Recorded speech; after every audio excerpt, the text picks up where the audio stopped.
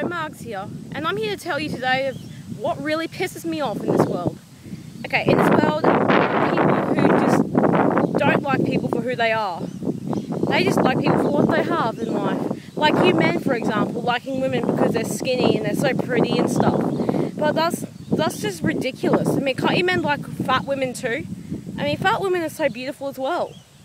I mean, you shouldn't tear them down because they have body fat and skinny women don't yeah, skinny women look really good in bikinis, and fat women don't.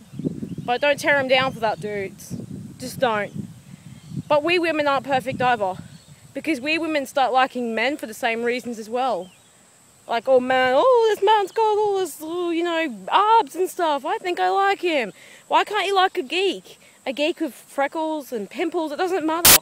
I mean, why wouldn't they want to like a man who just you don't like men and women just for what they have. You've got to like them for who they are, for Christ's sake.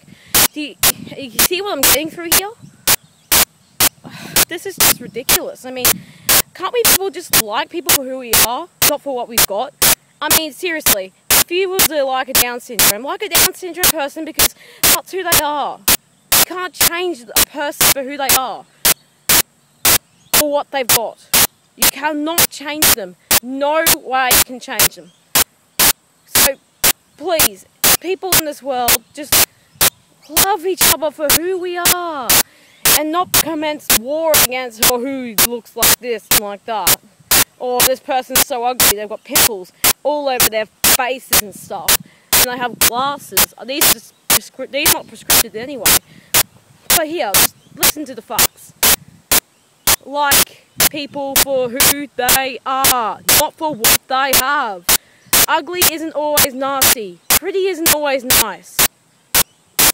Always remember that. Just always remember that. And I'm sitting in the park right now because it's much quieter here in the park than it is in my own freaking house right now. But hey, I can't change a person for being noisy. Just the same as you can't change anybody for being who they are. So for Christ's sake, Seriously.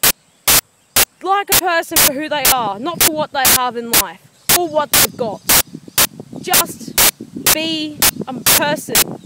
Doesn't matter. Have a heart, okay? Have a heart.